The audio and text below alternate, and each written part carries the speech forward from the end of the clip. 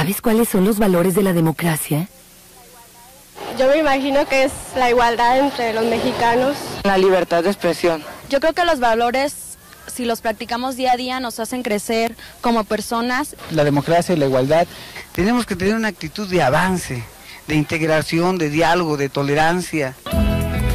Tú eres la llave de la democracia. IFE. Es el respeto, la tolerancia hacia las personas.